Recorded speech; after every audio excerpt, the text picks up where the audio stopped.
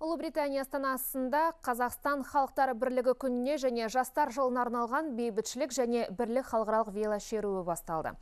Велосипедшілер Европаның бірнеше мемлекетін аралап елордаға оралады. Толығырақ лондондық тілшіміз Ғалымжан Қараманұлы сабақтайды.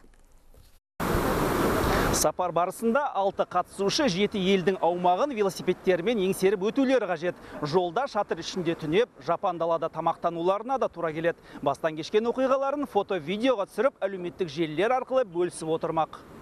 Ауқымды шараның негізгі мақсаты қазақстанның танымалдылығын арттырып ең басты құндылығымыз халықтар достығы мен бірлігін дәріптеу дейді ұйымдастырушылар. Қазақстан халықтарының ассамблеясы қазақ географиялық қоғамы және қазақстанның ұлыбританиядағы елшілігі. Бейбітшілік және бірлік. Біздің велошеруіміздің аты бейбітшілік және бірлік. Ол бүгін лондонда басталып жатыр. Содан кейін франция бельгия германия голландия польша беларусь және ресей елдерінің жолдарымен жүріп өтеді. Міне велошеру де басталып кетті. Команда мүшелері кәсіпқой спортшылар болмағанымен өз өздеріне сенімді. Әрі кептелістерді оңай айналып өтіп жатыр. Себеп лондонда велосипедшілерге барлық жағдайлар жасалған.